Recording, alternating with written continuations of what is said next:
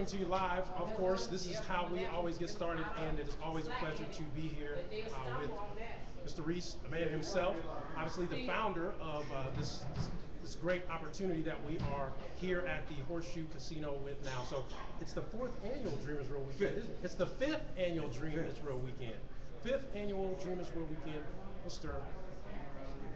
How are you? I'm doing wonderful. It's always a pleasure. Always a pleasure to have you. I'm glad Yes, sir. You've been doing wonderful work in this area for Well, 35, this was the first uh, sort of business adventure I had. Yes, sir. I started in 1968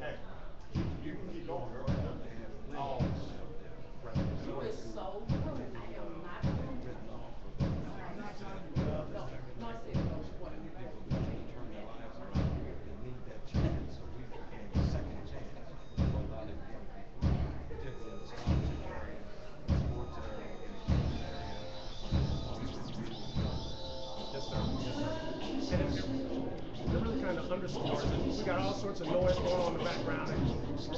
Unfortunately, but that's what happens when you're preparing for an event of this magnitude. Uh, but all the different things that you're doing in the region have done over the past 30 years as it relates to economic development, I have an opportunity to capture some footage of your economic empowerment movement, uh, some of the things that you're doing with the churches. Uh, so once again, this just kind of underscores the legacy that both you and your wife and what you have passed on to Alicia. Well,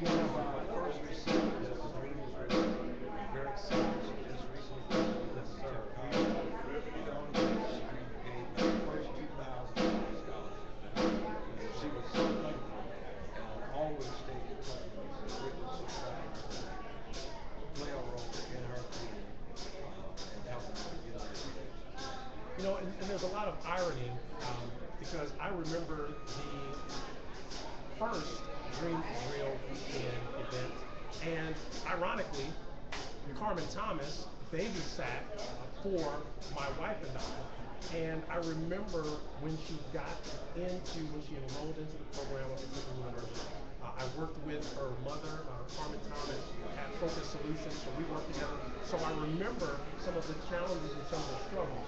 So it goes without saying the impact that the Reese family, the Dream is Real Weekend, Operation Step Up has had on the lives, altering the lives, altering the legacies, altering the course of history here in the tri-state Cincinnati area. Carmen Thomas obviously is one of those. Well, she's going to attend it, and this will be the very first time she's had an opportunity to attend. We're so proud and she's so grateful, you know, and see the quality of person that we